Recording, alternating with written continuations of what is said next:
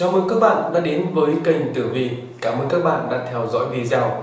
Các bạn nhớ ấn vào nút đăng ký, đồng thời ấn vào biểu tượng hình quả chuông để không bỏ lỡ những video mới nhất, hấp dẫn nhất từ kênh Tử Vi nhé.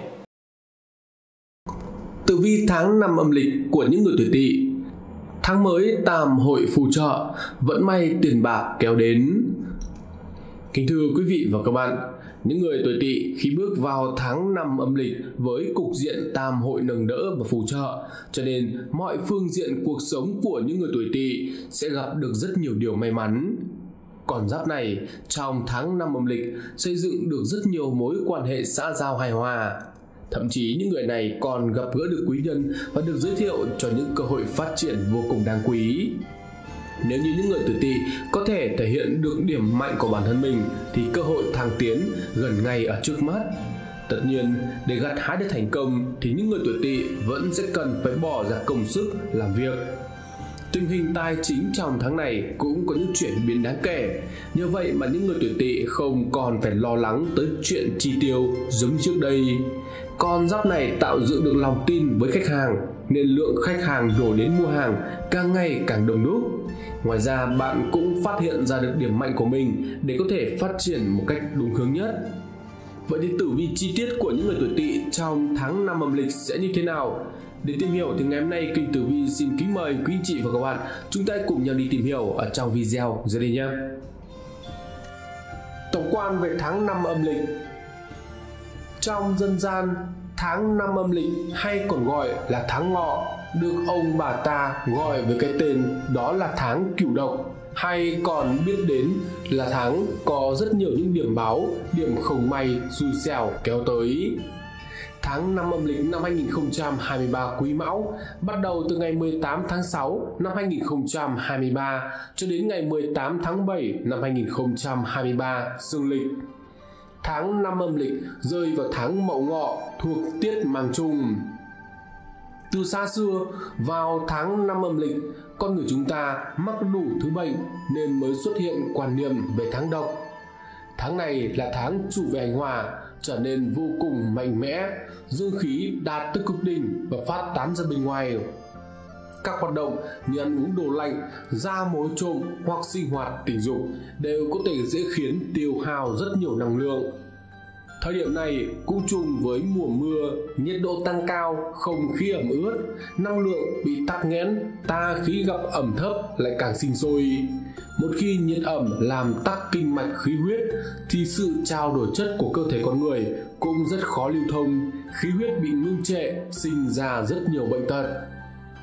Tháng năm âm lịch có 9 ngày được gọi là 9 ngày động trong tháng đó là ngày mùng 5, mùng 6, mùng 7, ngày 15, 16, 17 cùng với ngày 25, 26 và 27. Đây là những ngày mà trong dân gian đôn đại là thời điểm thiên địa giao thái cửu độc nhật. Các loại độc trong trời đất sẽ cùng tụ lại vào những ngày này. Ngoài ra, còn có ngày 14 âm lịch cũng được liệt vào những ngày cấm kỵ trong những ngày này, chúng ta thường phải khiêm nhường, đoan tràn cấm kỵ, sát sinh, hành lạc nếu không, sẽ tổn hào nguyên khí vô cùng nghiêm trọng. Ngày thiên địa giao thái được tính là thời điểm do tý của ngày 14 tháng 5 âm lịch là lúc mà tứ thiên vương tuần hành. 9 ngày này là 9 ngày cửu độc và ngày 14 tháng 5 là ngày trời đất giao thái. 9 ngày thường tích hao tổn sức lực và sinh khí được gọi là 9 ngày độc trong thời cổ đại. Luận theo tiết khí thì tháng 5 âm lịch là thời điểm mà dương khí cực vượng tăng tiến tới đỉnh điểm và bắt đầu sinh phát. Người ta gọi đây là thời điểm thiên địa giao thái. Trong vũ trụ, hai nguồn khí âm dương pha trộn vào với nhau không thể phân biệt. Loài người lại được coi là linh khí của vạn vật do hai nguồn khí âm, khí dương hợp lại mà thành. Và lẽ đương nhiên, khi hai nguồn khí này có sự thay đổi, sẽ ảnh hưởng trực tiếp đến cơ thể con người, gây ra đủ loại phản ứng cả tiêu cực lẫn tích cực. Trong các cổ thư về đông y thì tháng 5 âm lịch thực tế được dùng để chỉ rằng từ tiết mang trùng tính cả 3 tháng là tháng tỵ, tháng ngọ và tháng mùi đây là thời điểm mà dương khí trong cơ thể con người bị phát tán ra bên ngoài. Tất nhiên sẽ khiến cho con người rơi vào tình trạng suy kiệt. Lúc này, các cơ quan nội tạng bên trong cơ thể sẽ bị yếu đi, dễ bị nhiễm hàn, ta khí bên ngoài cũng nhân cơ hội mà xâm nhập. Đặc biệt, đây là thời điểm mà vi khuẩn, vi sinh vật sinh sôi nảy nở, phát tán ra không khí tiến hành chuyện phòng the vào thời điểm này sẽ làm tổn hào dương khí con người nội khuyết âm khí ngoại tán dương khí ta khí bên ngoài vượn phát việc động phòng sẽ gây rất nhiều bệnh tật Bên cạnh đó thì luồng khí hậu này cũng thuận lợi cho các loài rắn, côn trùng, chuột, kiến sinh sôi cũng như các loại vi trùng khác làm trầm trọng thêm việc lây lan dịch bệnh. Vì vậy trong phong tục dân gian, người ta thường cắm những que ở trước cửa, uống rượu, ngâm mình trong bồn ngải cứu nhằm mục đích trừ tà, tẩy uế, giữ gìn sức khỏe trong tháng năm âm lịch. Theo truyền thuyết dân gian việc ngày cửu độc không phải là không có lý, người ta mong muốn chúng ta luyện tập thể dục thể thao để nâng cao khả năng để chống lại tất cả các loại bệnh tật. Tử vi chi tiết của những người tuổi tỵ trong tháng năm âm lịch những người tuổi tỵ khi bước vào tháng năm âm lịch với cục diện tam hội nâng đỡ và phù trợ, cho nên trên mọi phương diện của cuộc sống của những người này gặp được rất nhiều điều may mắn. Con giáp này xây dựng được những mối quan hệ xã giao hài hòa và thậm chí còn gặp gỡ được quý nhân, được giới thiệu cho những cơ hội phát triển vô cùng đáng quý. Nếu như bạn có thể thể hiện được điểm mạnh của bản thân mình, thì cơ hội thăng tiến ở gần ngay trước mắt tuy nhiên để gặt hái được thành công thì những người này vẫn cần phải bỏ ra công sức làm việc Tình hình tài chính trong tháng này cũng có những bước chuyển biến đáng kể, nhờ vậy mà bạn không cần phải lo lắng tới chuyện chi tiêu giống như trước đây. Con giáp này tạo dựng được lòng tin với khách hàng, cho nên lượng khách đổ đến mua hàng càng ngày càng đông đúc. Ngoài ra bạn cũng phát hiện ra được điểm mạnh của mình để có thể phát triển một cách đúng hướng. Phương diện tình cảm có nhiều các tình chủ đào hoa xuất hiện. Với những người tuổi tỵ độc thân thì có thể có nhiều cơ hội gặp gỡ các đối tượng triển vọng. Thêm vào đó, tuổi tỵ còn rất cởi mở và thân thiện, do đó rất dễ gây thiện cảm với người khác ngay từ lần đầu gặp mặt. Tuy nhiên, với những người đã lập gia đình thì cần phải chú ý giữ gìn khoảng cách với người khác giới. Chi tiết về phương diện sự nghiệp của những người tuổi tỵ trong tháng năm âm lịch khi bước vào tháng năm âm lịch, vận trình sự nghiệp của những người tuổi tỵ có cơ hội bước sang một trang mới. Nếu như người này có thể nắm bắt được thời cơ thích hợp để khẳng định bản thân thì khả năng được cất nhắc là vô cùng cao. Với tam hội chiếu mệnh, các mối quan hệ xã giao thuận lợi đã giúp đỡ những người này gặp được quý nhân, thậm chí đối phương còn là người mà bạn đã quen từ trước đó. Người này sẽ giới thiệu cho bạn những cơ hội công việc rất triển vọng nếu như dám nắm bắt và chịu bỏ công sức ra làm việc, thì át hẳn sẽ gặt hái được thành công. Những người tuổi tỵ trẻ tuổi cũng dần dần tìm ra định hướng công việc cho mình. Nhờ đó mà bạn không còn cố gắng một cách vô mục đích. Và cũng nhờ vào việc xác định rõ ràng mục tiêu, bạn làm gì thì cũng thấy hàng hái và tích cực hơn, đồng thời thấy rõ hiệu quả trong việc mình đang làm. Với những người đang tham gia học hành thi cử thì những người này rất ham học hỏi nên rất dễ nhận được sự yêu mến của thầy cô giáo. Có người thậm chí còn đạt được học bổng. Với những ai đang đi thi tuyển, đang đi xin việc thì cũng dễ dàng gây ấn tượng với giám khảo hoặc những nhà tuyển dụng nhờ vào khả năng giao tiếp khéo léo, hấp dẫn của mình. Chi tiết về phương diện tài lộc của những người tuổi tỵ trong tháng năm âm lịch. Những người tuổi tỵ không cần phải quá lo lắng nhiều về tình hình tài chính trong tháng này có rất nhiều cơ hội xuất hiện ngay trước mắt. Chỉ cần bạn nhanh chóng nắm bắt và cố gắng đến cùng thì át sẽ thu về tiền đầy túi.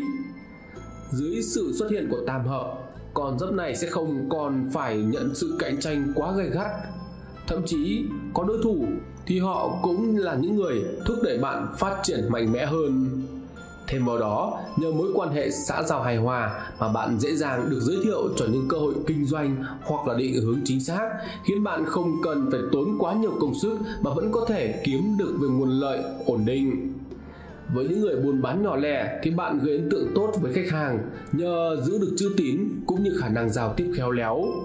Ai đã từng mua hàng của bạn thì đều cảm thấy hài lòng, sẵn sàng quay lại vào những lần sau người làm công ăn lương thì được lâm quan giúp đỡ, khiến bạn khẳng định được giá trị của bản thân mình trong tập thể, nên được cấp trên đánh giá rất cao. Khả năng thăng chức, tăng lương trong tháng này là rất tốt. Vì thế mà túi tiền của bạn sẽ luôn được dùng dình chi tiết về phương diện tình duyên tình cảm của những người tuổi tỵ trong tháng năm âm lịch. Khi bước vào tháng 5 thì đường tình duyên tình cảm của những người tuổi tỵ cực kỳ hanh thông bởi vì bạn có được rất nhiều các tinh chủ đào hoa chiếu mệnh thậm chí bạn không cần phải chủ động, cũng sẽ có người đến làm quen, xây dựng mối quan hệ với bạn. Tuổi tỵ trong tháng này, được người thân thiết giới thiệu cho những đối tượng khá triển vọng. Bạn và đối phương có thể thử trò chuyện cởi mở với nhau. Rất có thể bạn sẽ nhận ra hai người có rất nhiều điểm chung. Tháng này các tinh thái dương và thiên diêu xuất hiện tự bản thân bạn cũng thấy mình rất tỏa sáng, thu hút được sự chú ý của mọi người xung quanh. Tất nhiên, đào hoa là dấu hiệu tốt, dự báo cơ hội thoát cảnh độc thân. Song bạn đừng vì thế mà trở nên trăng hoa, giữ mối quan hệ mập mờ với quá nhiều người cùng một lúc. Tuy nhiên, với những người đã có cặp, có đôi, đã có gia đình, thì đó không phải là dấu hiệu quá tốt lành những người này cần phải chú ý giữ gìn khoảng cách với mọi người xung quanh, trở nên buông thả theo những thú vui nhất thời. Trước khi làm việc gì thì bạn cần cân nhắc tới gia đình, tới người thân, thậm chí là cả sự nghiệp, danh tiếng của mình. Đừng để những điều mình tốn công xảy đáp suốt khoảng thời gian vừa qua trở nên uổng phí. Ngược lại, bạn nên có cách tận dụng các mối quan hệ trên để họ giúp ích cho mình, khiến sự nghiệp càng thêm phần hành thông và rộng mở chi tiết về phương diện sức khỏe của những người tuổi tỵ trong tháng năm âm lịch. Vấn đề sức khỏe cũng không có gì đáng lo ngại với những người tuổi tỵ tuổi tỵ trong tháng này có một cơ thể khỏe mạnh cũng như một tâm lý lạc quan tích cực. Chính vì vậy mà bạn luôn sẵn sàng tham gia vào các hoạt động đối diện với những thử thách, những khó khăn.